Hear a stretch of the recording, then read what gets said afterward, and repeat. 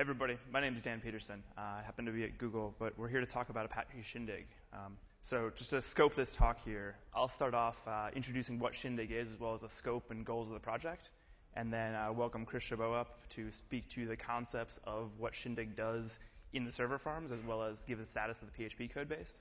Um, and then Paul Lindner will come up and speak to uh, what, it, what it means and what it takes to run Shindig at massive production, like he's doing at hi5, as well as give an update on the Java code base and then I'll come back and end it out with a demo, and then we'll have some time for a Q&A and info about how to get involved.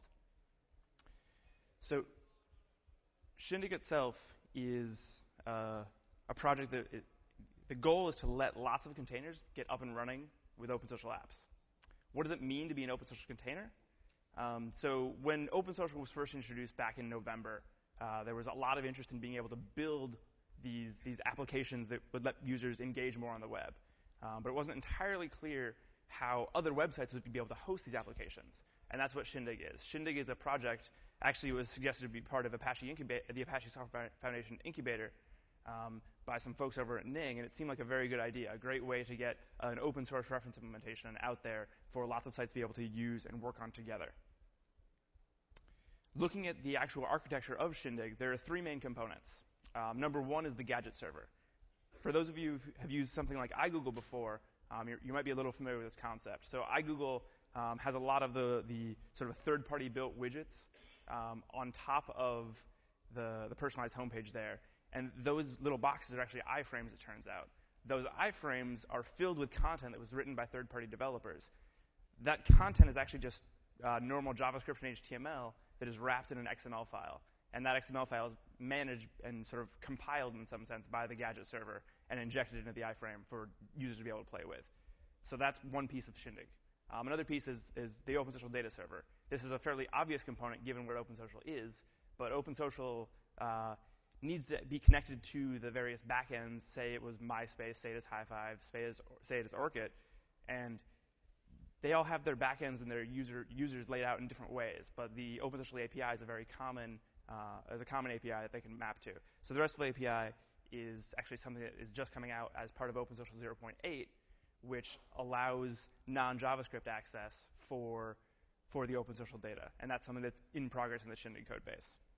The third piece of the Shindig architecture is the gadget container JavaScript.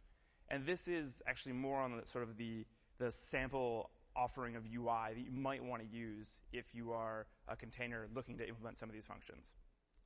So looking at it from a, from a diagram perspective, um, you have the, the, the basic situation here is that the, the gadget server is what does the rendering and can pull in the social data as appropriate and inject that into the gadget. And so you have these gadgets that are shown on your site. Um, Chris will jump in a little deeper into this a little later. Um, thinking now about why you might want to use Shindig. So Shindig itself, the, the most important reason you'd want to use Shindig is that it's an open source community building this, building this reference implementation of this open standard. This open source community means that there's a high, high value code, and actually, I've called it a reference implementation many times now, um, but it's actually production quality reference implementation, and that's not always uh, one in one. And there's actually a lot of sites that are already using Shindig in production. I'll give you a, a list a little later. Um, but this code is definitely ready for scale. Another point is that OpenSocial itself is still evolving over time. And as OpenSocial evolves, that specification is changing. And if lots of people are working together to build this implementation, you can all sort of build off of each other and build a, a better ecosystem. And Shindig will allow you to more easily stay in sync with the latest and greatest. Uh, another sort of more speculative piece is the, this integration with Caja, which actually currently is, is Java only. Caja is, a, is sort of a, a, separate, is definitely a separate project from Apache Shindig, but Caja aims to address some of the security and performance problems related to using lots of iframes and using untrusted JavaScript. And there's, there's already some integration to have those two work together. So looking at the Shindig community, I said it's a very big community. You can definitely see here that in the last six months we've already had you know nearly 5,000 emails. So there's a lot of people out there that can help, uh, whether they happen to be committers or, or, or, also just contributors sending patches. There's a lot of stuff going on and a lot of activity. Looking at the repository status, um, so Shindig itself is open source 0.7 compliant, and there's work going on now to get up to speed on 0.8. Um, and actually, one of the biggest things of 0.8 is, is, introducing the RESTful API, which is already functioning in read-only mode um, in the Shindig code base out of the box. So Shindig itself, I, I called it language neutral. Um, and what that means is that we have uh, two ports right now, one in Java, one in PHP, um, both of which are 0.7 compliant. And then the really important part is that the JavaScript container, they, they both use the same JS. So there's not duplicate code there. And so it, it works together much, much more cleanly. Um, so looking ahead, so actually to pull some stats, there we go. Um, to pull some stats from uh, actually Ohloh.net, which does some project tracking, uh, you can see you can actually build off of uh, eight years of effort, according to the bot, um, for a project that's only been around six months. So there's a, there's a lot of code there, and there's a lot of momentum. Looking at where we're at from a production perspective, so hi5, Hyves, iGoogle, Netlog, Orkut. That's a lot of users that are being touched through this Shindig code in production right now. Um, and there's actually a lot of others that are coming up to speed to look at either either more Java or also in PHP. Um, they just haven't yet quite shipped. So with that, actually, I'd like to op- uh, open it up to Chris Chabot, who's going to speak to some of the uh, concepts behind Shindig. Thank you. Oh, hello, everyone. I'm Chris Chabot, and I'm the author of the PHP version of Shindig. And I wanted to run through the status of the project and pretty much what the basis of Shindig is. So I just wanted to get the status out of the way so I can talk about Shindig in general. Uh, we recently, in the last couple of weeks, finished 0.7 specification support. That means it's now completely ready, the PHP version, to run all the popular gadgets and be used in production, and the first sandboxes using PHP Shindig will be going live soon. And there's also a little side project that I made. It's called Partuza. Um, Partuza is an example social network site written in PHP that's database driven and has all the little UI components that you need to make your own so social site as open social container. So it serves as an example of some source code that you can look at to get a feel for how it works just by looking at a practical example of it. Uh, the name Partuza is actually a little bit of a pun. Uh, as you may or may not know, Shindig is American slang for party, and Partuza is Argentinian slang for party as well, so you can see there's some connection between the two. There. So PHP Shindig adaptation is going really well. We have four mainstream social network sites using it, which means there'll be over 100 million people using PHP Shindig on their day-to-day affairs. Uh, Goo from Japan will be going li live later this year. Uh, the others are going to do their own announcements somewhere in this summer because uh, they like to keep that to themselves. Uh, we also have free social network frameworks. And those are people who create applications that you can use to make your own social network site. So it's a little bit like a content management system, but then specifically for social sites. Uh, the nice thing is they'll be rolling out their new versions later this summer, which means we'll have hundreds of new open social containers going live this year. Uh, there's a lot of parties already contributing code to PHP Shindig as well. Globant is in the audience here today with us.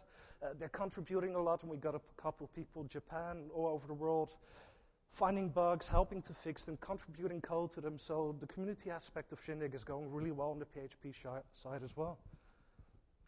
So Dan already touched on this slide a little bit, and I'd like to go in a little bit more detail. Uh, what you have is a website. It's probably a social network site, but it could be any site that you want to have components in that have some social functionality. So some developer out there created a gadget, right? And he put that online. It's an XML file, and you want to be able to show that in your website. So what you need for it is a gadget serve and a social data serve, and I'd like to talk a little bit about what those components do. So first of all, there's the gadget serve, and the gadget serve, you've got an XML file online. That XML file has a bit of HTML code, it has a bit of JavaScript code, and it's got some other information in there, and you want to get that on your website, right? So Shindig downloads that XML file for you. It looks at the contents of it, and it retrieves information such as who the author is, who you can email for support, uh, what thumbnail you probably want to show in your application gallery on your website. So it takes all that metadata. Then it looks at some other information in the XML file, which is the translations. Translations are incredibly important because, as was said earlier by Patrick in a different session, social network sites don't really pick their users. The users pick their social network site. And that means that you probably have visitors from tens or 20s or 30s of countries going to your site, and they all pretty much want to see content in their own language, probably. So it looks at the XML file and it sees, hey, there's some translation packs here.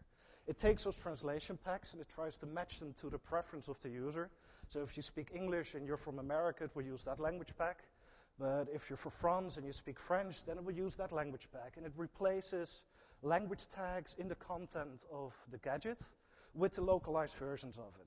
It also injects those translations into the JavaScript space so that if the gadget uses the OpenSocial JavaScript API, it can reach those messages as well for things like displaying custom errors, messages, etc. The next step is the preferences. Now, gadgets have preferences that you want to be able to set in your OpenSocial container. Uh, for instance, say that you have a horoscope gadget, you would want to select which sign it should display. And if you have a delicious gadget, I presume most of you know delicious, uh, you probably want to select which user you want to display the bookmarks of. So it takes those preferences and does the same kind of variable substitution on the gadget content and injects it in the API space through JavaScript as well, so that the gadget knows what sign to display, basically. Then there's features. Now, features are JavaScript libraries. And what's so important about features? Uh, a gadget wants to do certain things in your social network site. For instance, there's the views feature. And the views feature allows you to navigate to different views of a gadget. You probably already know that a gadget can have a home view, that's the personal page where the owner's the same as the viewer. You've got a profile view. And the profile view is how other people will see your identity, your page on the social site. So you want to be able to navigate between those two by clicking on a link, and the views feature would provide that functionality. Uh, another big feature would be OpenSocial, which provides you with the functionality to retrieve things like your friends, your information, your name, etc. Now, these features, what's special about them is that they're injected into the actual iframe of the gadget. Uh, the reason why we chose for that, instead of making the external JavaScript files, is to reduce the perceived latency that the end user will have on the website. Uh, the problem with external JavaScript files is that it takes a little while before they're all downloaded and it all becomes available. So you can't really do any JavaScript logic in the gadget until all your external resources have finished loading, and your unload event will be called. That means some cases when some of the images or whatever files uh, take a few seconds to come in, the gadget is just sitting there without actually doing something. So all the JavaScript that is generated by the features is put into that HTML file inline, which means there's no actual delay before it starts executing. We do have some JavaScript minification in there, and with gzip, gzip compression, it means that your gadget document is actually not that big at all. It'll be about 50k uncompressed, and compressed will be like 20 kilobytes per gadget. So at the end of all of this, the end result is the HTML file. And that's the HTML file that gets put into the iframe. So that's the actual working gadget on your site. Now we have a special service as well. As you know, at the moment, as Dan already said, we've got the Java and the PHP versions. So what if you wrote your website in a different language? Suppose that you like Perl and you wrote your website in that, or you made your website in Python, C Sharp, etc and you still want to be an open OpenSocial container. Well, the metadata service allows you to do that. Uh, you can put Shindig on a different server, just as is. You can pick the Java version, you can pick the PHP version. And then through a post request, you say, well, here's a gadget, and this is the user that wants to see it. And here's his preferences and his language and all those things. And then Shindig will return to you all the information that you need to know. So it will give you all the metadata that we discussed earlier. It will give you the thumbnail URLs. And it will give you a little iframe URL that you can just kind of glue into your website. And that will refer back to Shindig. So everything works without having to pull in the entire project into your site. Uh, the other alternative, of course, is to port Shindig to a different language. And I don't think we'd mind if someone did. we always like more languages to support. So the second part of Shindig is the social data server. Now, when we're talking about social information, uh, I think most of you will know that we're talking about three different kinds of information normally. There's the people, and the people are the profile informations. There's things like your name, your email addresses, uh, the picture to show whenever you're referring to this person. And there's the relationship between those people, the friends in most social network sites. Then there's the activities. Activities are created by the events that happen, uh, the interactions that people do on a social network site. For instance, uh, in your books that I've read, you say, hey, I'm now reading this great book. That will go into your activity stream. And your friends will see that as well. Hey, Chris is reading this great book. Maybe I'll check it out as well. And so activities are a very important part of the whole social experience as well. Now, the data server also provides persist- persistent data storage for gadgets. Now, there's a downside to using persistent data, and that means it's a little bit limited in how big the information is you can store in there. I think Orkut has a limit of about 10 kilobytes. Uh, so there's some limits, but it has the big advantage, first of all, that you could write a gadget, uh, put the XML file on some free hosting somewhere like pages.google.com or any of the other hosting sites, uh, and you use the persistent data for storing things like, well, what are the birthdays of my friends because I happen to deal a lot with birthdays, or what are the high scores of a game. So you don't need any uh, infrastructure of your own to be able to have an actual working gadget on social network sites, which is great if you don't have the money for it or you don't know how to write such a server, etc. Another thing it's used for is to cut down on the latency.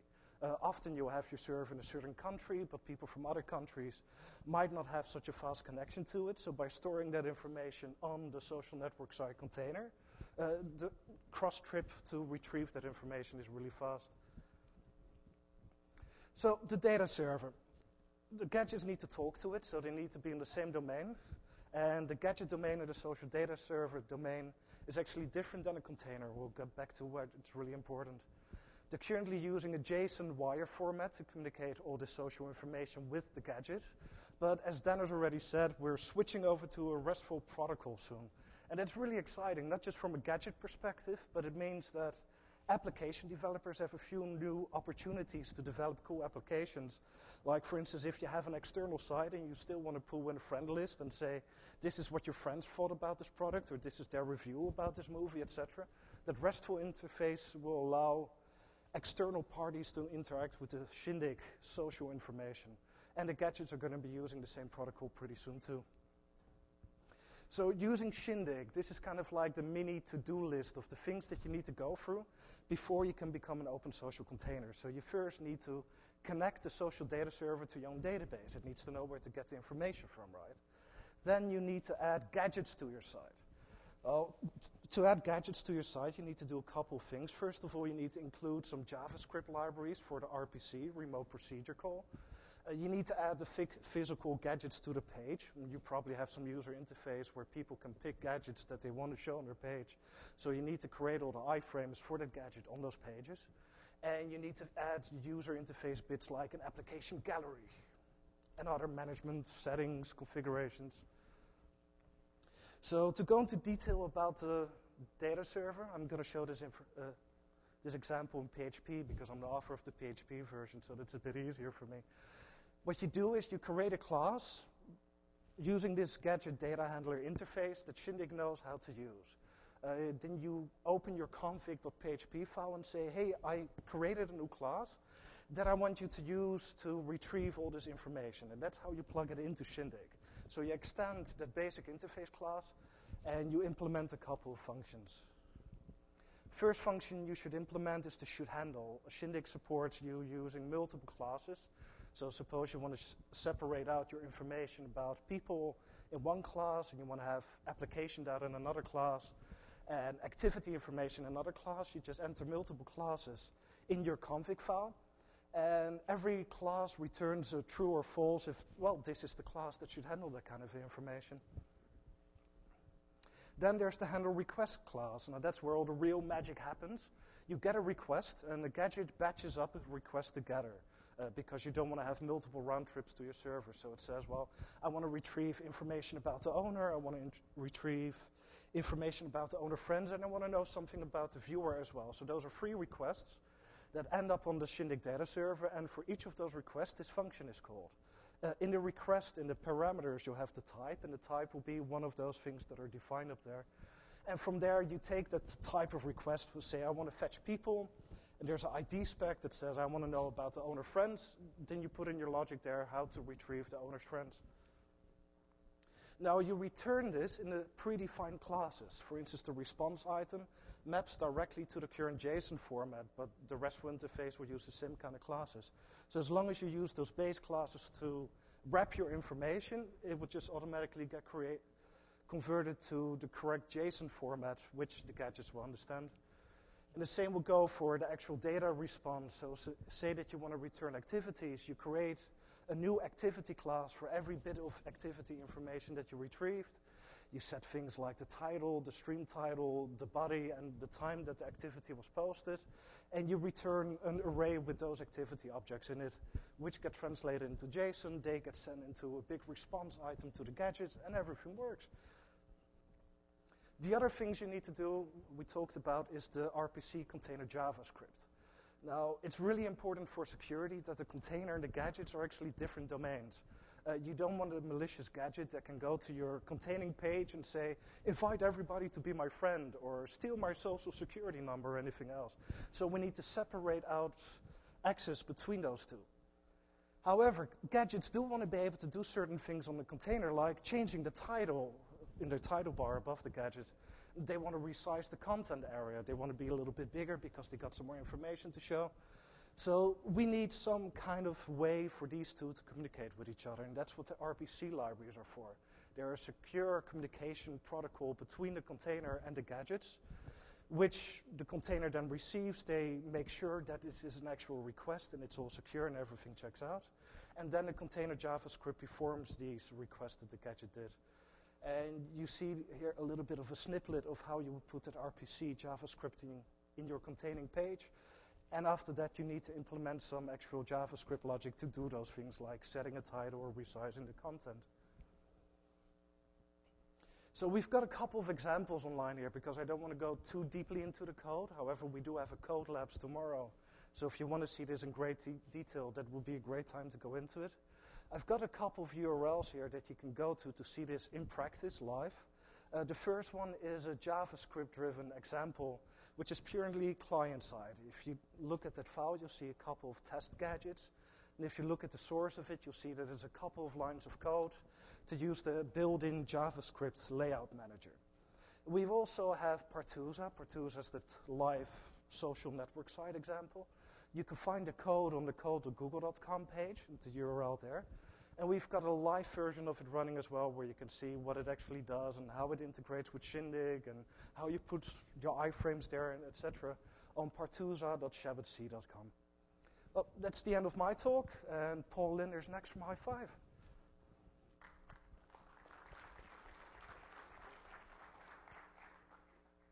Thanks, Chris. Great information on client. So I'm going to go into a little bit uh, of a bit of a tangent here. I'm going to talk a little bit about Shindig when I actually got to talk a little bit about hi5's experience in actually putting it into production. And uh, it's sort of a from the trenches kind of uh, view.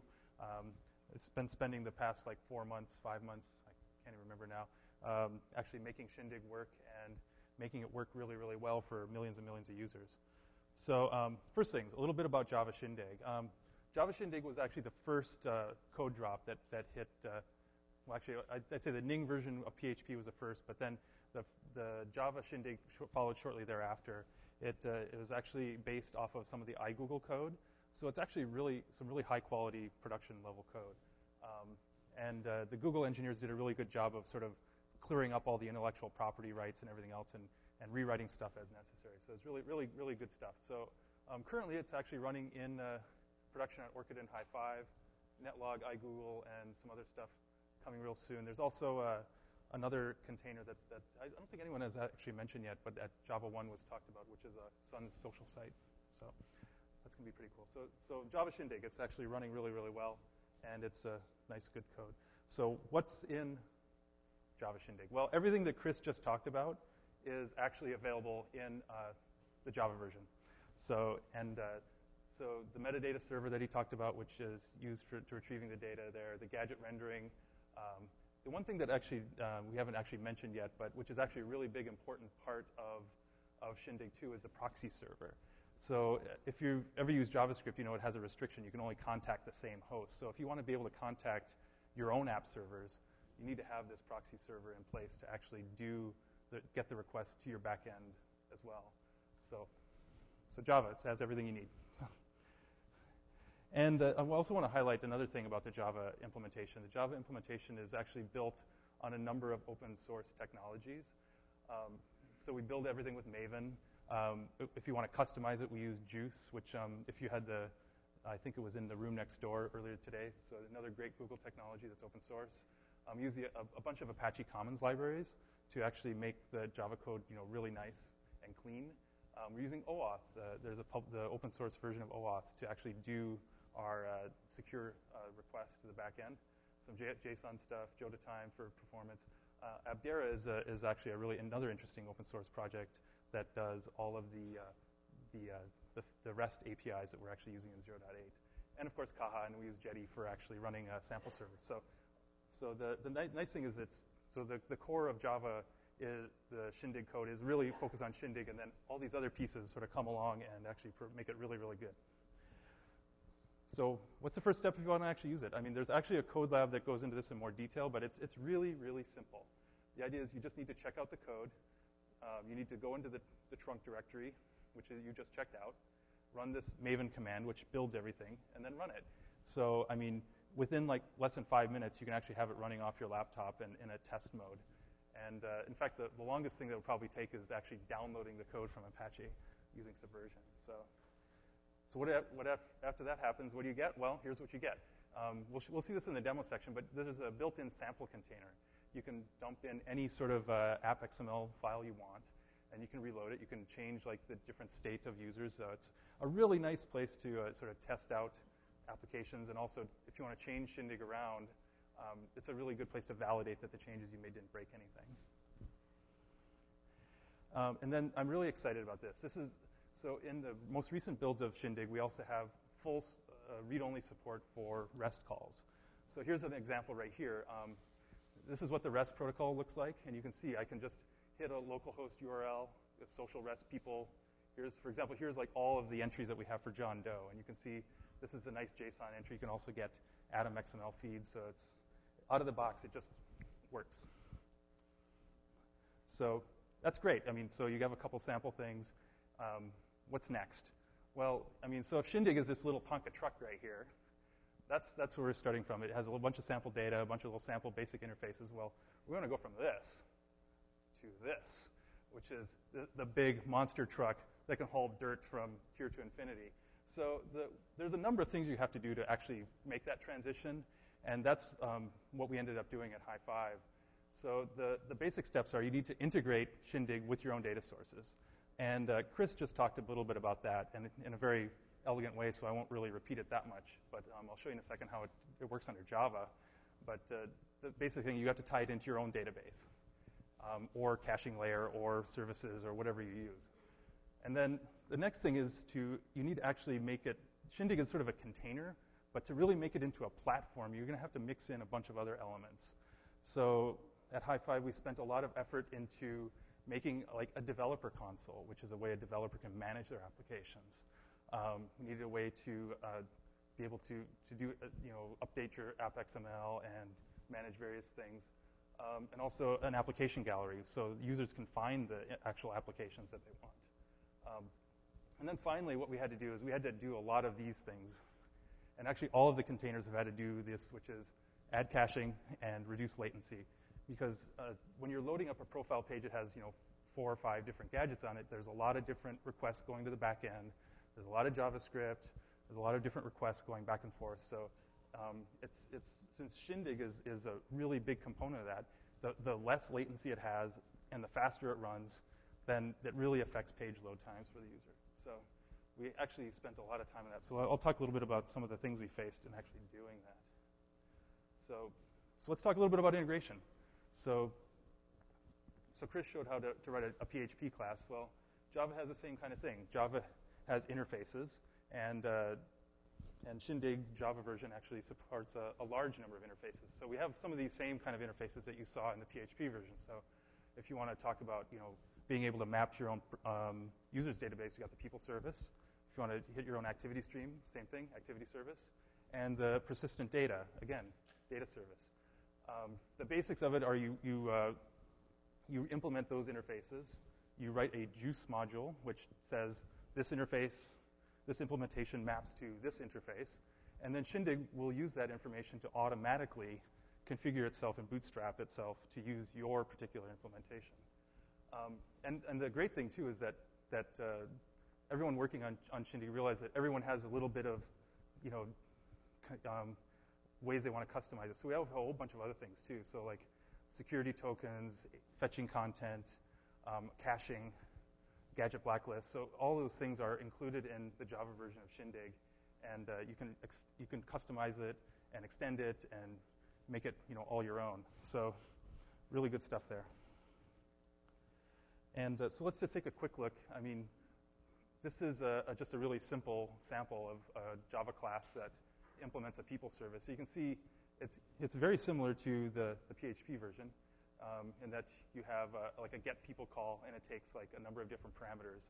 It's like a list of IDs, a sort order, a filter, things like that. So it's really, it's really quite simple. You just sort of, in this case, like we have a very naive implementation here where it just says, give me everyone from my particular data layer, and then just return it. So very simple. And let's, so once you've got that, then you have to actually need to configure it. Here's a very, a very small, simple Guice module. You bind your people service class to your my people service, and then you configure it using your WebXML, and then launch your server, and boom, it's using your own version of people data. So that's one, the first part, which is customizing it for your environment. Well, what do you got to do next? Well, I already mentioned a couple things, but the uh, so if you're if you're a social network, you might have some of these things, but you might not actually have some of these things. Um, so you're going to need a place to store application data when you when you build your social site, which means you probably need a database table that has all the applications that you are allowing or whitelisting, things like that. So we did that. Um, you need a place to store user app permissions. That's a really important thing that um, you need to honor the user's request for security, but you need a way to persist that. So that's one of the other things that you're probably going to need to do right off the bat is uh, put it like a, in our case, we have an app perms table that maps users to applications. And what applications are allowed to do or not do is based on that. Um, you need to ma- maintain your list of developers. So again, you have a list of developers stored in a table, stored in some data s- source somewhere. So we did that. Um, if you want to support notifications in your open social uh, platform, then you're going to need to actually make a table for that or reuse some existing uh, notifications mechanism. I'd probably recommend separating out app notifications from you know, person-to-person notifications. I think we found that, that our users appreciated that a lot. And then finally, there's another aspect of Open Social. You can actually invite another user to use your, an application. So you need a way to have to store an invitation in a database somewhere. So, so that's uh, another component that you'll need to add. And then, of course, you need to make it look good. So if the users won't use it unless it actually integrates well with your app, so you need to make a, cal- a gallery, a canvas, a way to do invites, a way to browse notifications, all that stuff. So once you actually go through all of these separate pieces, which are sort of layered on top of Shindig, then you're actually really talking about a platform with a high-speed train. So, so we did all that.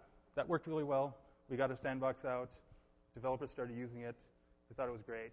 Um, so then the next thing comes is okay, we've got applications that want to install to millions of people. We've got proxy requests going left and right. Um, what are we going to do to make that stuff work? So the first thing that you have to do is if, if uh, and this is sort of, I don't know, this is sort of like web application 101, I know, but it's, uh, the basics of it are, so um, Shindig is a very highly, uh, highly threaded type of thing. It has lots of small connections, which is, you know, kind of a paramount of Ajax type of thing. So need to be able to really turn around the requests fast. So um, if you have any concurrency issues in your code, fix them. And then, then what you're going to do is you're going to hit concurrency issues in user libraries and things like that, and then you're going to have to work around those. And I'll, I'll give you some gotchas in a sec. But uh, we ended up hitting a lot of those. Um, and then the other thing is make sure everything runs really, really fast. So if you're getting a list of friends, make sure it's the fastest possible way to get a list of friends. You know, try to avoid using a disk drive if at all possible because that introduces lots and lots of latency.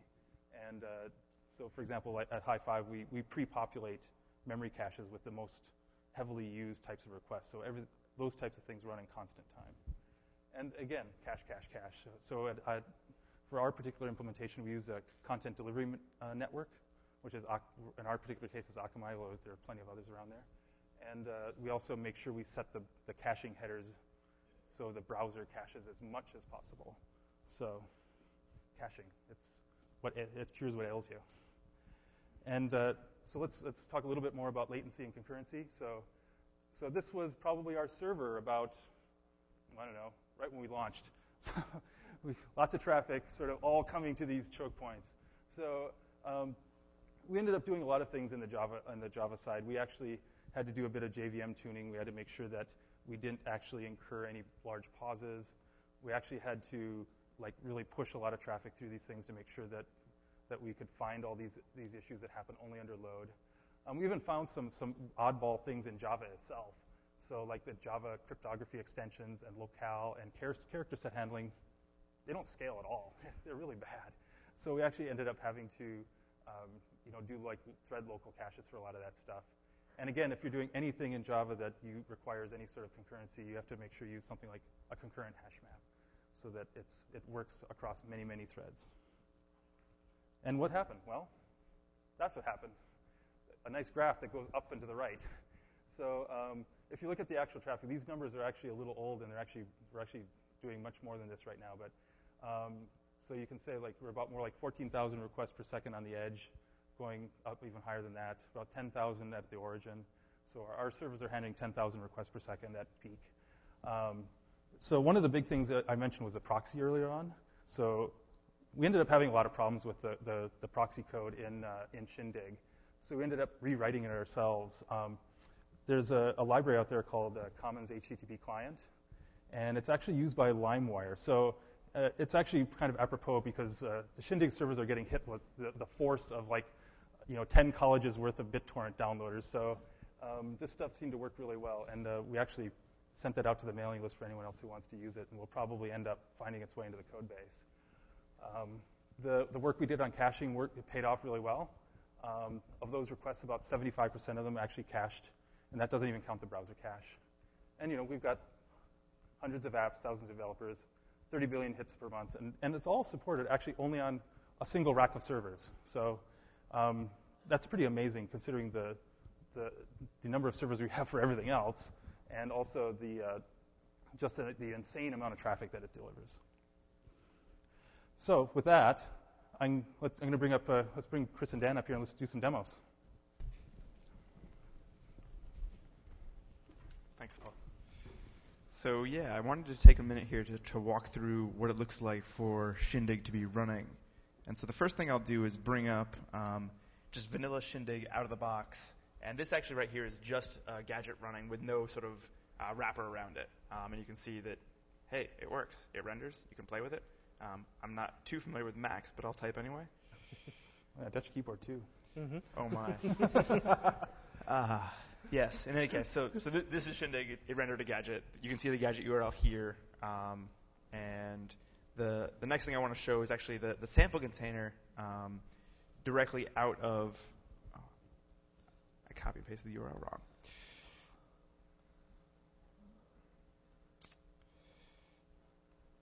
Yeah. The, uh, so this here is a sample container, and this is the sample container that you'll get uh, as Shindig out of the box. And what's going on here is that the, the title, the, the block inside the title, that is um, the iframe is what you want to think about there. This container itself is intended to be um, more along the lines of what you would use for testing your, your app or your gadget to see what it does with the variety of, of social parameters, whether the viewer is John Doe or, or Jane Doe, for example.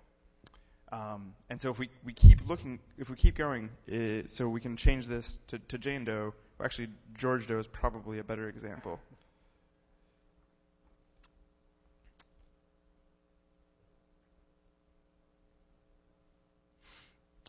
And so there was a little bit of change there in terms of exactly what was going on. Th- this particular app, we call it Social Hello World. All it really does is lets you um, say hello in a, and it will change the language over time. Um, so you can see the language down there at the bottom is saying hello world in yet a different language. Um, and, you, and, the basic idea is that there's a relationship between Jane and Joe sort of built into Shindig itself, just as test data. Um, and you can also sort of see what some of this stuff looks like. But again, we're, we're, getting a little deep now on exactly what's going on. And there's actually going to be a code lab tomorrow, uh, 10:15, to really help everybody get up to speed running Shindig.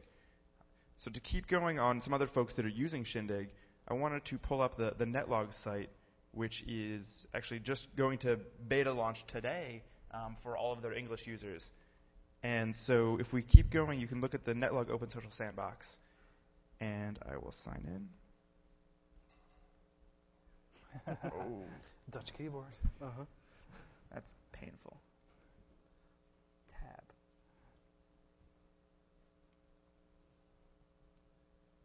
I won't save it here.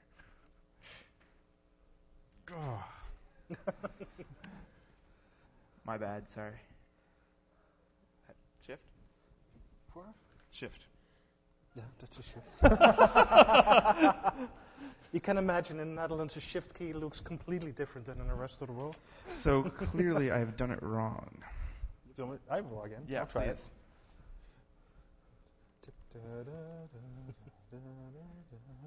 Oh crap!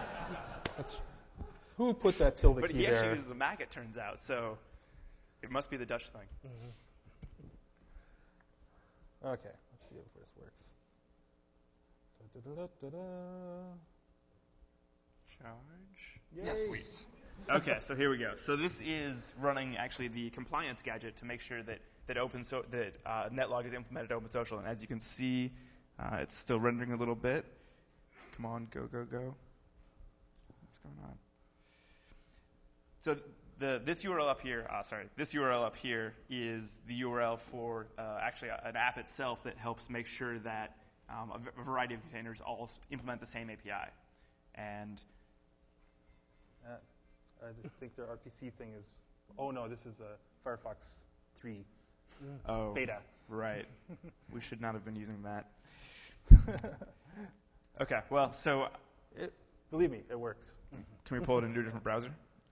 You can use There's, Safari if you want. Safari down. But uh, actually, there, there's some really cool stuff in, in uh, Firefox 3. And I don't know if anyone got to the HTML5 presentation, but the RPC between gadget and container is, is very, very efficient uh, between the two in HTML5. So, anyway. Oh, I get to log in again. Oh, actually, somebody was already logged in Oh, previously. there you go. Oh, There we look, go. yay. All right, so now you can see the results of what the compliance gadget shows.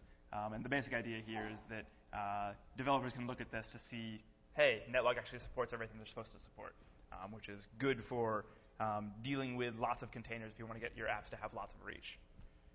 Uh, so to jump a little deeper, we'll go to Orkut now, which is live. So this is Orkut, um, is one of the earlier containers that has shipped to a lot of users already.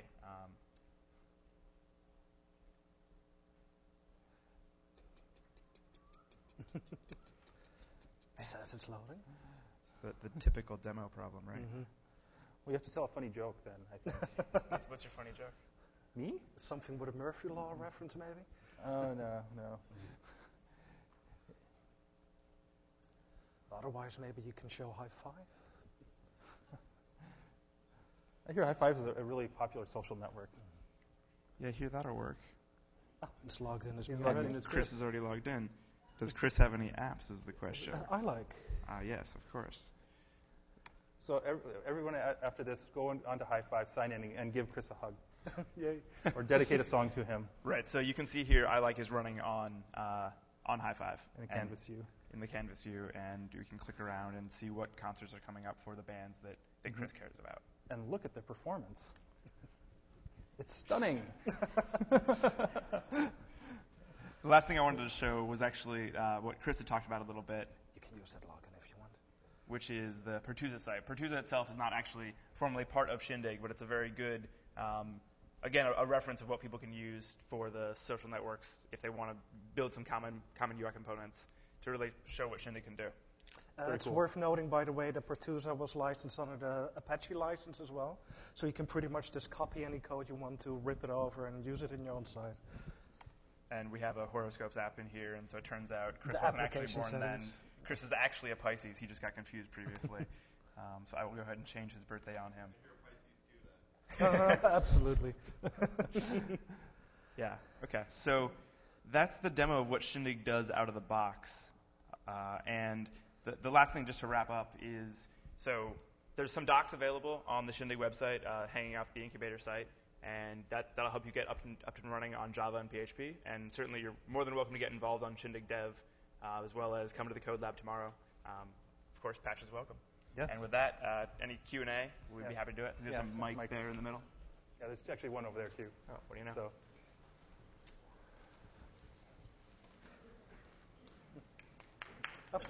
Just now. thank you. Q and A. Guess we covered it.